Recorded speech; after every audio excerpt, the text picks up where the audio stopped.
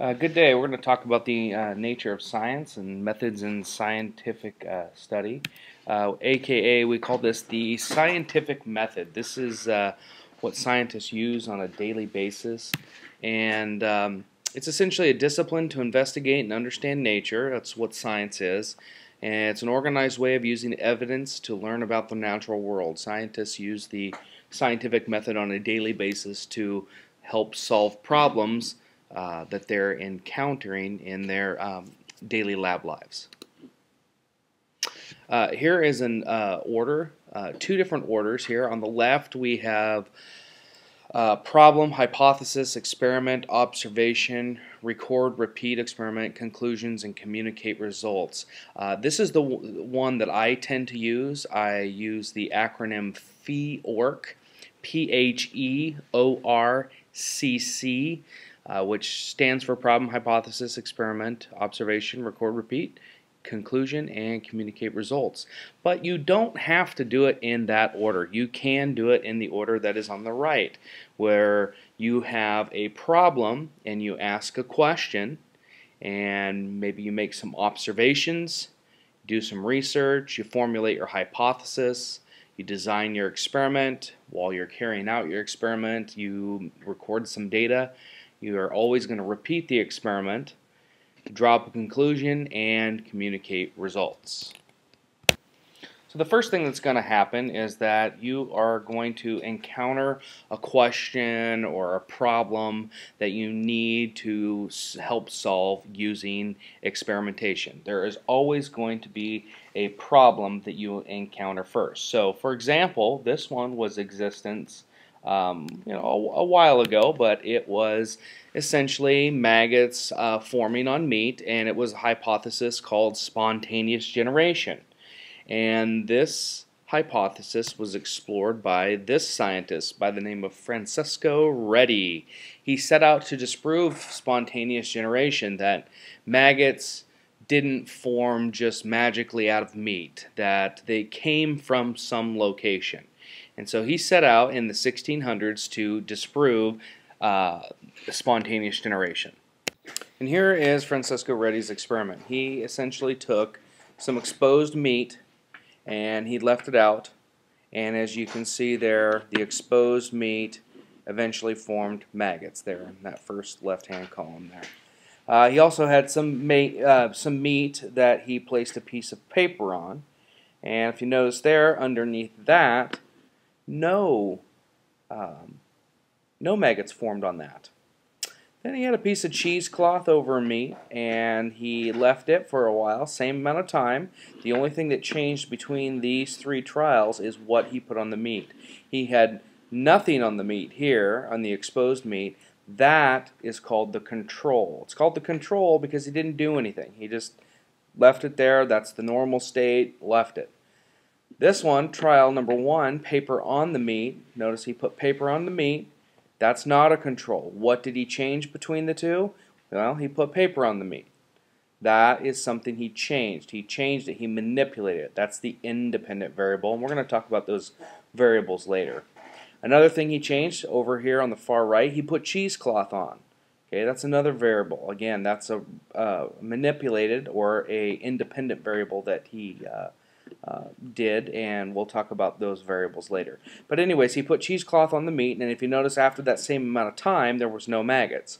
Well, then what he did is he took off the cheesecloth, and he left it for a little while. And after some time, he decided to put the cheesecloth back on. Well, eventually maggots formed underneath the cheesecloth. So it led him to believe that maggots formed after the cheesecloth had been taken off. So the cheesecloth was taken off. Something may have landed on the meat during that time, laid eggs, and maggots formed after he put the cheesecloth back on. So having exposed meat to the air led him to believe that that is what was causing maggots to form on the meat.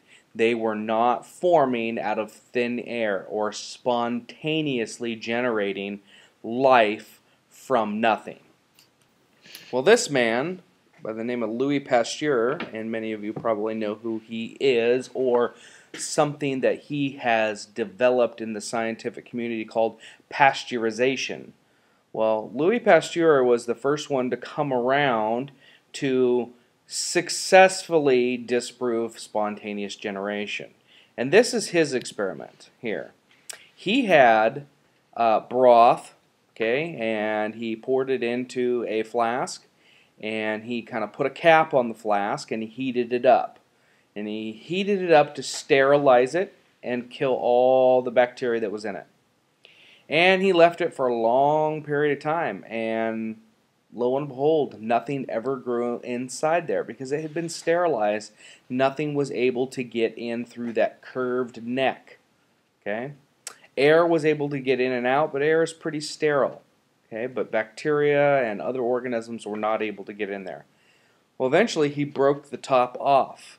And as you can see there, after he broke it off, he left it for some time. It started to get cloudy and kind of dark colored, and mold was growing inside there. That was because bacteria and mold spores were able to fall into the flask and contaminate the solution. Okay? So he was able to actually prove that spontaneous generation did not actually happen. Okay, but what was the difference between Redi and Pasteur? Well, Redi in the 1600s, he also said spontaneous generation did not occur. Well, so did Louis Pasteur. Both were right, but nobody actually believed it to be true until Louis Pasteur's experiment. And the reason for that was because of data. Data is the reason people believed uh, or you know backed Louis Pasteur's experiment. Redi did not keep accurate data, even though his hypothesis was correct. It was down to the data. So 200 years had gone by where people believed that spontaneous generation actually happened until Louis Pasteur came around with his experiment and collected good data. And I say that slowly because collecting good data is very important. So let's move on from Redi's experiment and Pasteur's experiment, and let's talk about observations. Okay, observations. We make observations in the scientific community. Uh, observations help us collect data. We use our five senses: our sight, our hearing, our touch, our smell, and taste. They are all they all provide us with data and information that we use um, in uh, science. Okay, so we use our observations and our senses, and we have two different ki kinds of observations.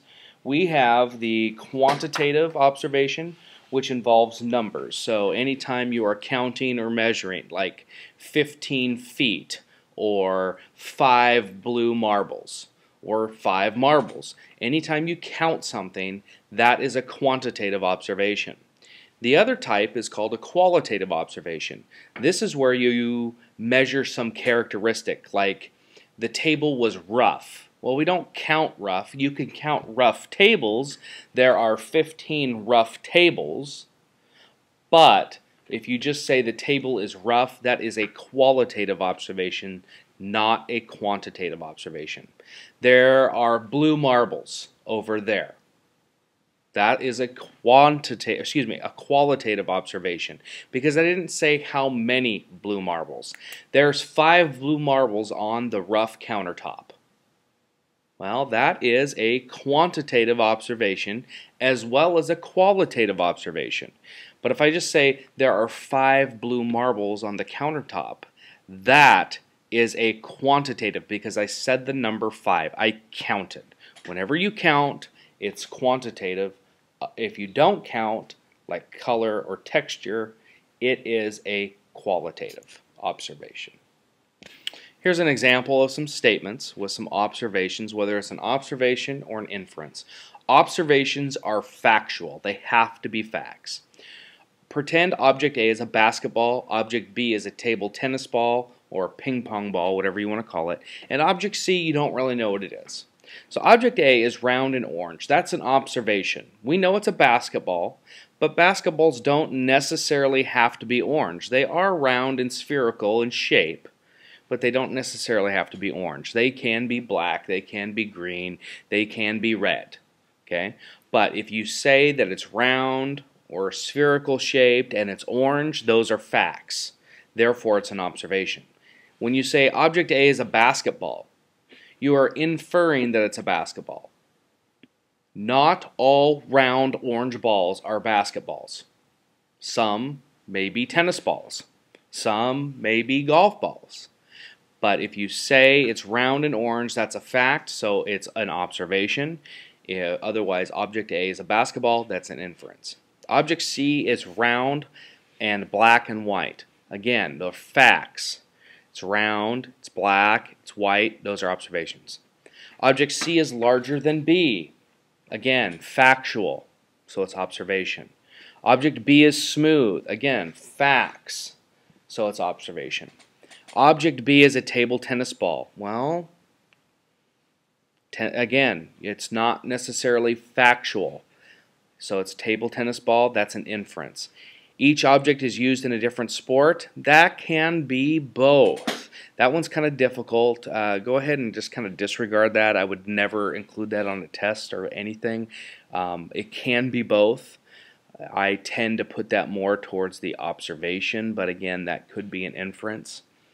And uh, if you can go ahead and take a wild guess what object C is, if you know that object C is larger than B, it's round, black, and white. And how many of you thought it was a soccer ball? And if you thought soccer ball, soccer ball is an inference. But if you say that that ball is round, black, and white, those are observations. In class, I had you make some observations and write anything down that we used our senses for. And so we're going to skip over that right now and move right on to forming hypotheses.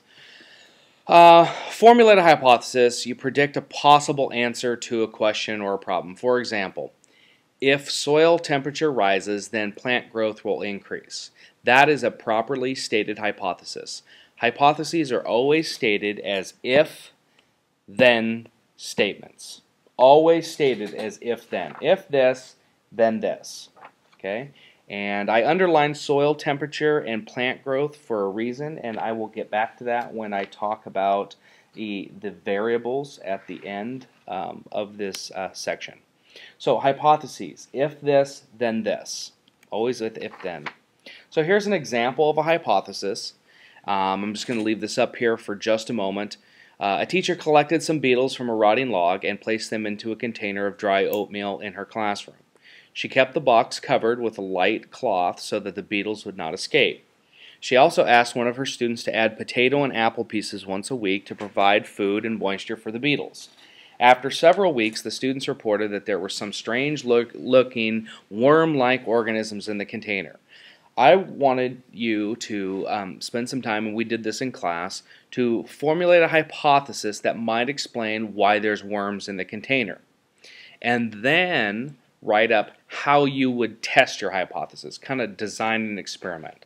So go ahead and pause the video right now, write up a hypothesis as to why the worms are in the container. Remember, the hypothesis has to be stated as if then statements. So if there are worms in the container, then, and you come up with the then.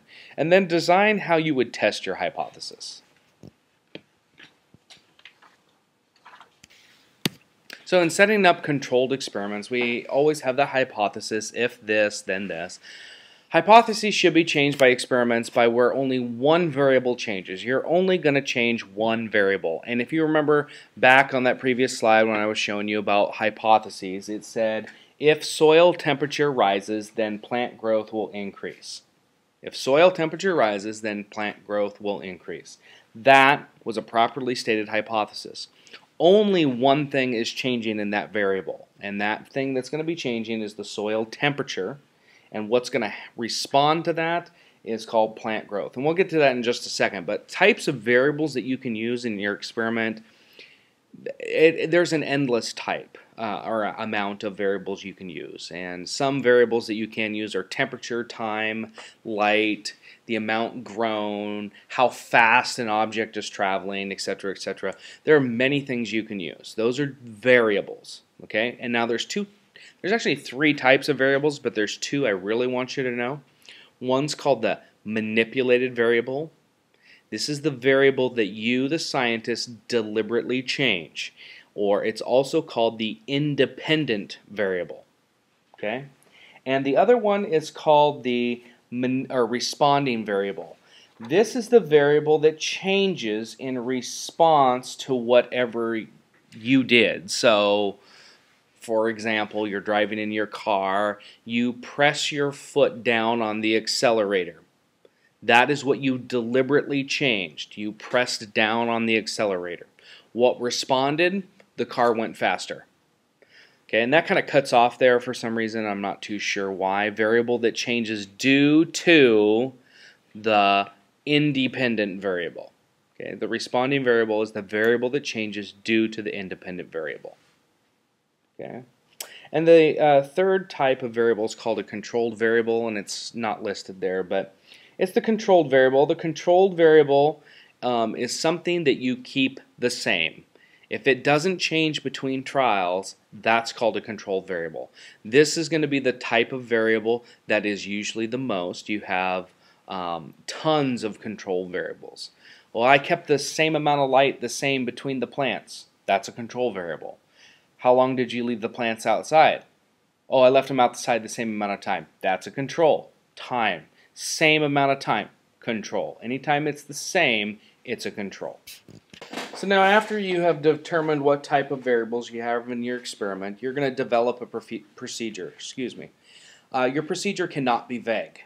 It has to be very clear. Step one, do this. Step two, do this. Step three, do this. Very detailed. Uh, next is come up with a materials list. This is a list of everything that the scientist is going to need to in order or in order to repeat your experiment. Some scientists want to repeat other scientists' experiments, and they need exactly to they need to know exactly what they need in order to repeat that experiment. Um, and the last thing is that you need to make sure that the outcome or what you're measuring it has to be measurable. You have to be able to measure measure it or quantify it, count it in some way. Um, and if you can't, you need to develop a way to measure it. Those are important. If you can't measure it, it's not a controlled experiment. Next up is during your experiment, you need to make sure that you record results. Um, data collection is extremely important in the scientific community, especially in the um, scientific method. You must record your results. Good data is extremely important. Okay?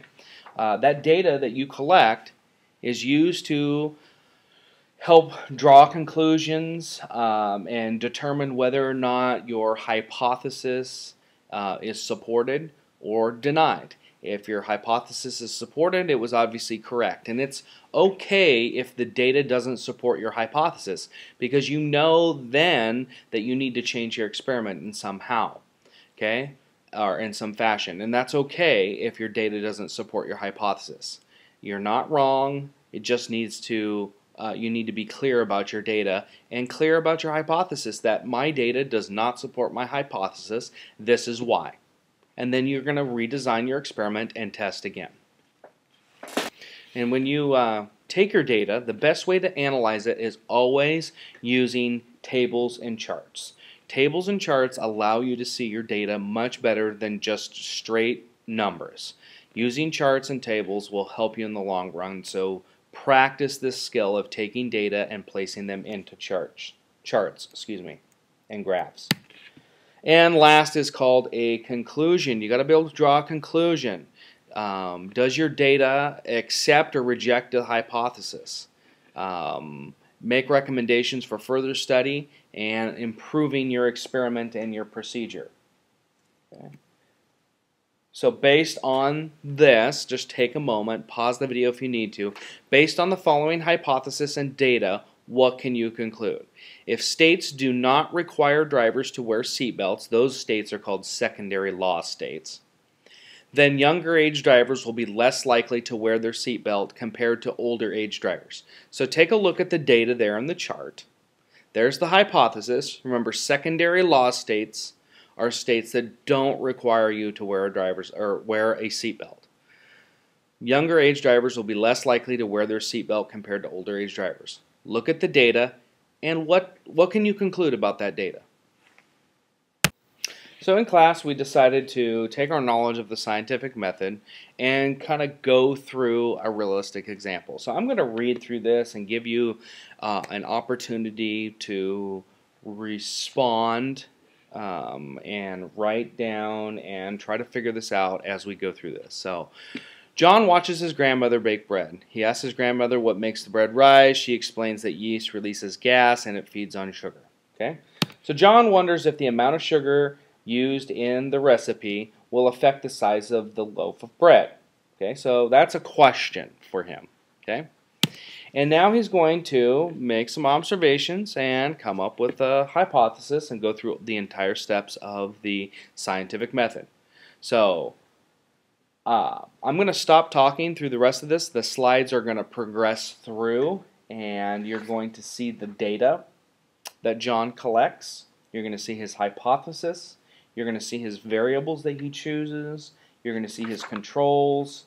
Um, again, you're going to see that data and you're going to see his conclusion and I want you to kind of follow along as it goes on and see if you come up with the same conclusion that John does.